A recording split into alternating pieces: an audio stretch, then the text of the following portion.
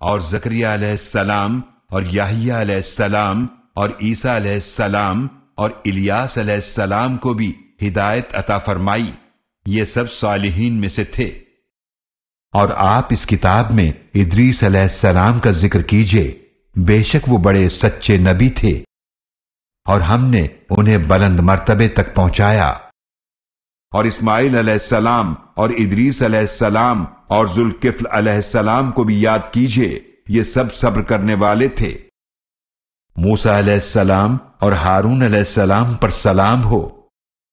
और बेशक इलियास सलाम भी ज़रूर रसूलों में से थे। जब उन्होंने अपनी कौम से फरमाया, क्या तुम डरते नहीं? क्या तुम बाल नामी बुद्ध को पूछते हो और सबसे बेहतरीन पैदा फरमाने वाले को छोड़ देते हो? यानी अल्लाह को जो तुम्हारा रब है और तुम्हारे पिछले बाप दादा का भी रब है। फिर भी उन लोगों ने उन्हें झुटलाया तो यकीनन वो सब अजाब के लिए ज़रूर हाजिर किए जाएँगे। सिवाय अल्लाह के खालिस किए हुए बंदों के। और हमने बाद में आने वालों में उनके ज़िक्र खैर को बाकी रखा। बेशक हम नेक लोगों को इसी तरह बदला दिया करते हैं। बेशक वो हमारे मोमिन बंदों में से थे।